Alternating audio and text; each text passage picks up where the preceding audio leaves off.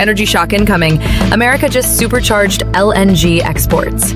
AI is juicing oil field stocks, and geothermal is going mainstream.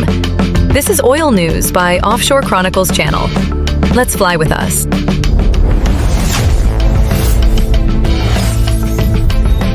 Washington approved Venture Global's CP2 terminal to export up to 28 million tons of LNG a year, mostly to non FTA nations. Big policy swing that could cement the U.S. as the world's LNG powerhouse and reshape gas flows to Europe and Asia by late decade.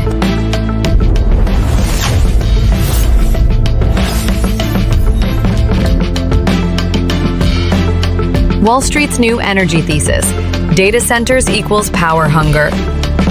As AI buildouts accelerate, investors are rotating back into oil field and fracking services on expectations for more gas fired generation and liquids demand.